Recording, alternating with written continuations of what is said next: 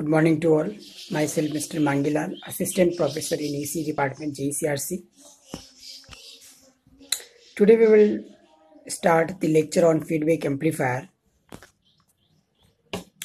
In this lecture, our objective will be brief introduction of basic amplifier, need for feedback, definition of feedback, types of feedback, advantage and disadvantage of a feedback.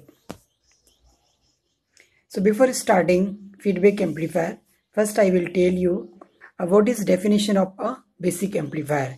So an amplifier is a electronic device or circuit which increase the magnitude of input signal applied its terminal. The basic amplifier is designed uh, using active and passive components. In active components, we can use transistor, FET, operational amplifier, etc. And for passive component, we can use RLC, resistor, inductor and capacitor with power supply.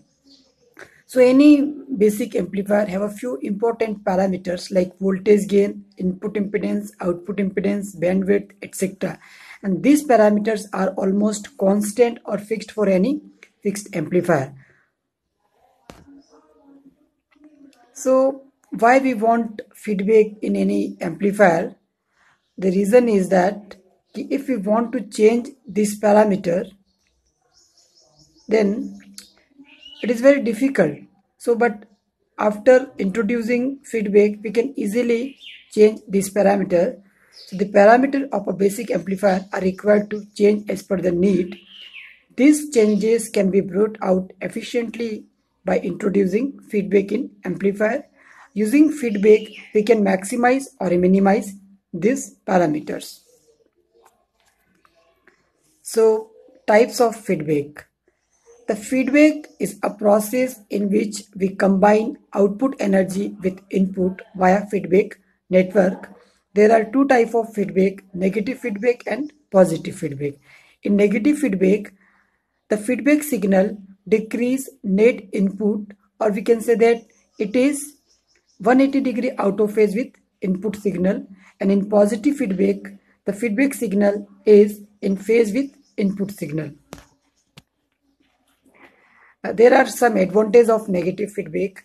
Using negative feedback we can improve stability of gain. It reduce distortion and noise. It increase or decrease the input or output impedance. Using negative feedback we can increase bandwidth and there is only one disadvantage of a negative feedback. It is it reduce voltage gain but it can be improved by increasing number of amplifier stages. The voltage gain with feedback is given by this equation. AVF is equals to AV upon 1 plus AV beta. Here AVF is voltage gain with feedback, AV is voltage gain without feedback and beta is feedback fraction. So in feedback amplifier, uh, by this factor here, D is a desensitivity and D is equals to we can write 1 plus AV into beta. This is the basic block diagram of a feedback amplifier.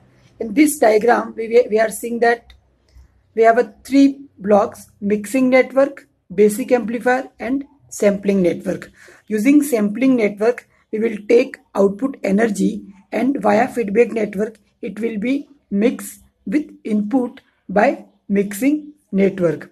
For basic amplifier, we will use common emitter configuration circuitry and for feedback network, we will use passive component R, L and C.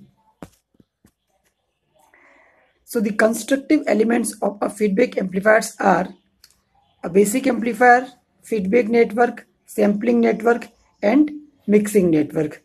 By using this network we can design a feedback amplifier. So sampling and mixing. On the basis of sampling and mixing we can also classify feedback amplifier into four categories. First is voltage series feedback amplifier current series feedback amplifier current shunt feedback amplifier and voltage shunt feedback amplifier thank you